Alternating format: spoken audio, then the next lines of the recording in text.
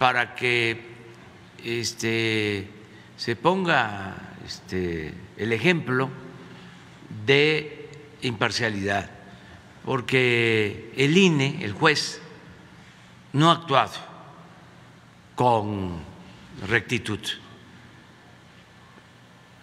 Yo les eh, diría que hay elementos, hay pruebas de que solo se impide que se manifiesten, que participen los que están a favor de la transformación.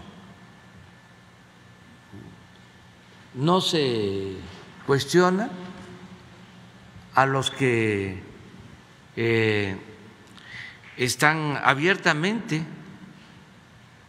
eh, llamando a que no participe la gente el domingo próximo.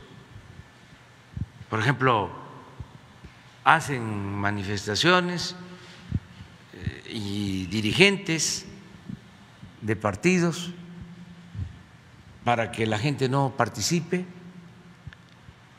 Hay campañas y el INE no dice nada.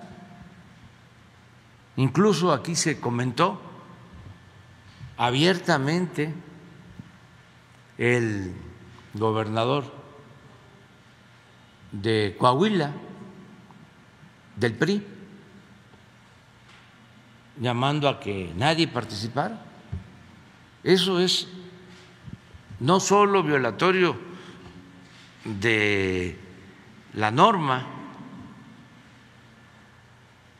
sobre la revocación del mandato, no solo violatorio de la veda, sino es violatorio de la Constitución,